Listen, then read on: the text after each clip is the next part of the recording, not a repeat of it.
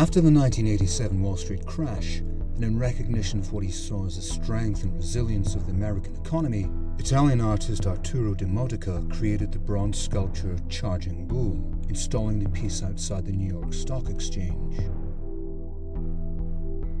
This iconic image has inspired the first painting for Trevor Jones's 2021 exhibition, and utilizing the steampunk aesthetic offers a parallel sense of optimism. For whatever reason, what I was trying to say, um, what I wanted to explore um, with the past and the present and the future, uh, it was a, a warmer, more human feel about it, um, more um, optimistic in a sense.